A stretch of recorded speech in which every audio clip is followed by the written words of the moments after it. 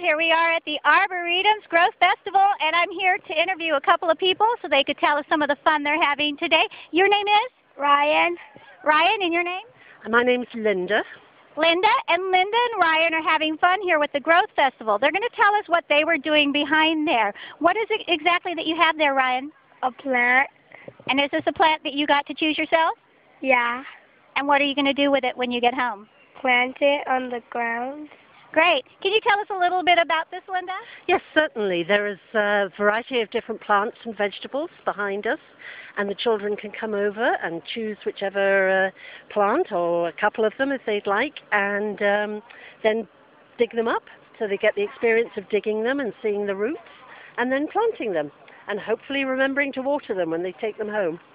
That's wonderful. So this is a hands-on experience that they can have here at the Arboretum for the Growth Festival? Absolutely. And just like Ryan learned how to, uh, how to dig up the plant, and I think he's got the beginnings of learning how to be a really good gardener. Well, that's wonderful. Ryan, you're going to be able to see this grow. Are you going to name your plant? No. well, there you go. Linda, if you can just tell us the hours today of when people can come down to the Arboretum and be a part of the Growth Festival.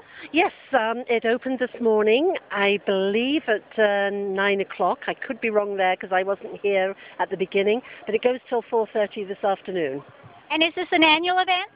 I hope it will be. Um, we're not completely sure. This is the first year that they've had the festival.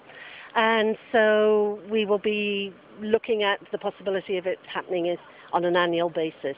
And is it open just to members? No, not at all. It's open to the general public. And in fact, we really hope people do come who uh, maybe have never visited the Arboretum and then enjoy themselves so much that they become members. Well, come on down to the Arboretum. As Ryan here is a witness, there's a lot of fun. You can have some great information about plants, and you may also be able to take something home with you and watch it grow. This is Connie Mustang with Local View in Arcadia. Thank you.